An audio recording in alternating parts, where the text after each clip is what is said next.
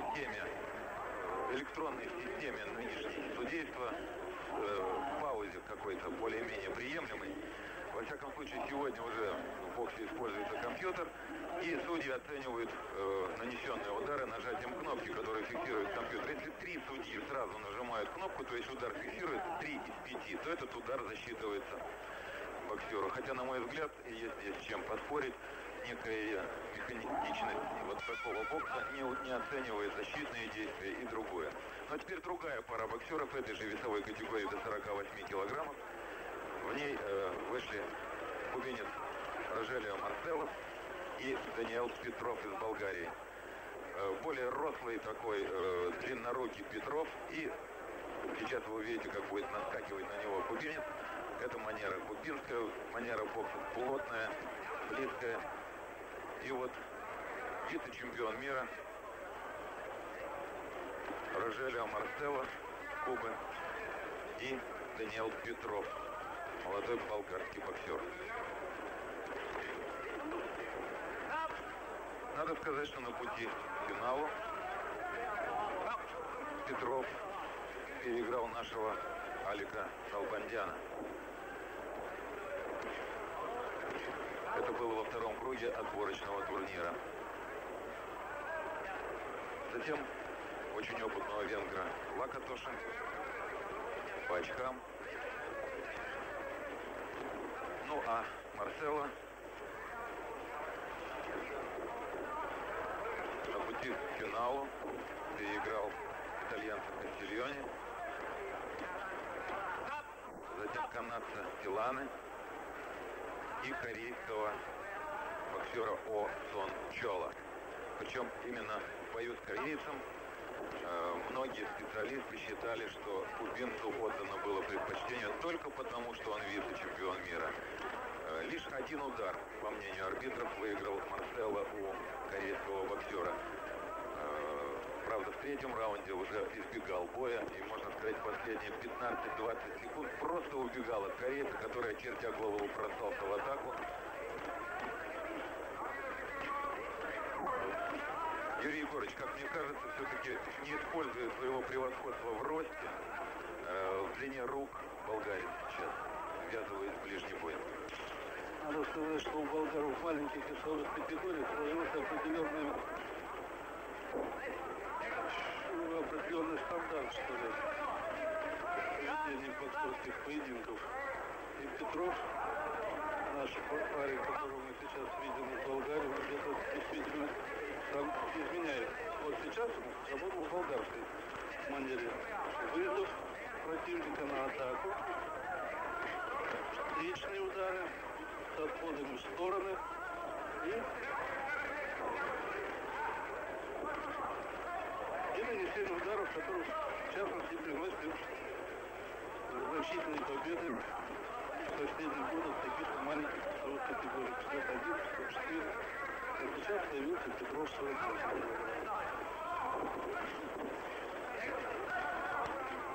Ну, наверное, только на одной дистанции, только на одной дистанции, вероятно, сложно боксировать с такими признанными мастерами. Поэтому нужно боксеру где-то встать, дать встречный бой.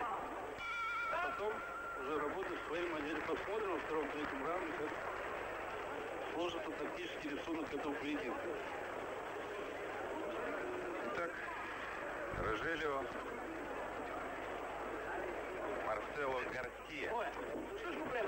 Ему 26 лет, очень опытный спортсмен, он живет в Гуантанамо. Около 200 боев, около 30 проиграл. Как я уже сказал, он вице-чемпион мира в Москве.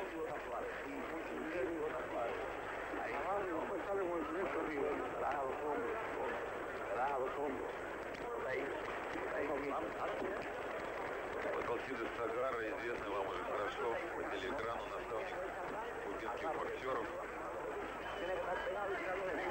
напутствует своего ученика.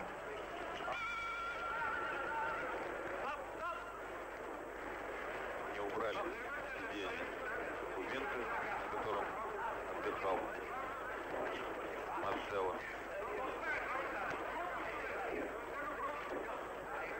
Интересно, что я встречался с моим коллегой, давним знакомым, Ильвана Логином, комментатором кубинского радио.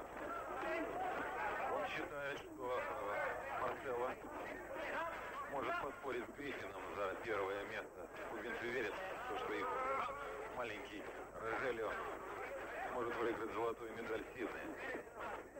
Ну, по его решимости вообще можно сказать, что он готов выйти в финал. Хотел бы я напомнить, что Атлантик в общем, видим бою призеров чемпионата. Каждый из тех, кто вышел сегодня на ринг, уже как минимум обладает бронзовой медалью мирового первенства в Сидней. Но победитель сегодняшних боев получают право бороться за золото. А вот тот, кто проиграет, это достаточно бронзовой медали. И это, конечно же, высочайшее достижение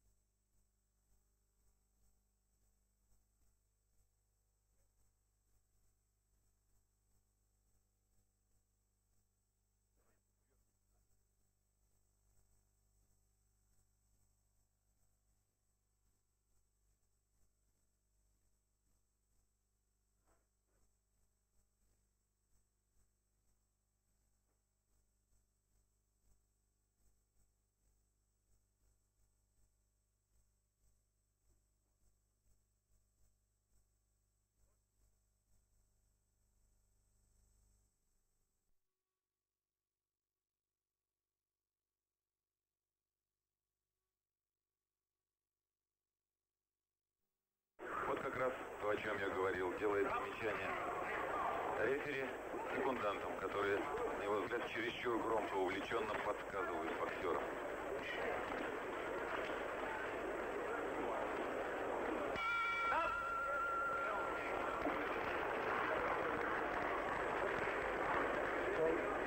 И опять нам показывают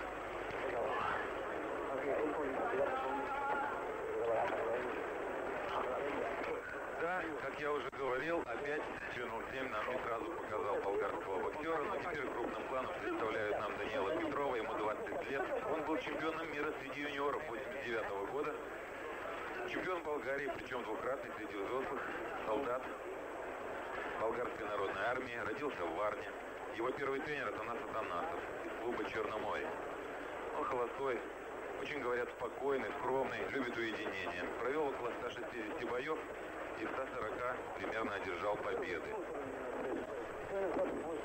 У него неполная семья, отец с матерью разошлись, и вот младшая сестра у него есть, и он ей помогает, что называется, вырасти сейчас. Невеста Амелия. В Гетеборге был бронзовым призером чемпионата Европы.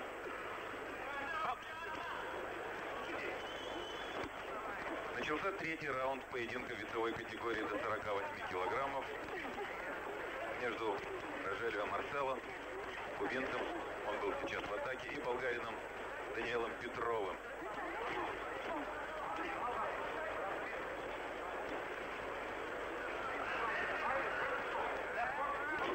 не удается болгарскому боксеру работать в избранной ими манере. Но еще опыта, видимо, не хватает. Я обращаюсь к Юрию Егоровичу Золотареву. Старшему тренеру сборной команды СССР, начальнику команды, который в нашем репортаже принимает участие. И я так буду делать неоднократно, представляя Юрия Егорыча, и в какой-то степени э, боксеров достаточно часто. Дело в том, что мои коллеги в Останкине из трехчасовой живой трансляции, которую вы сейчас наблюдаете, будут делать вечернюю программу, выжимки такие, самые интересные моменты э, протяженностью в один час. Поэтому за некоторые повторы я прошу нас простить. Но и четвертьфинальный бой Юрий Егорович показал, что э, не беспредельные силы кубинцев.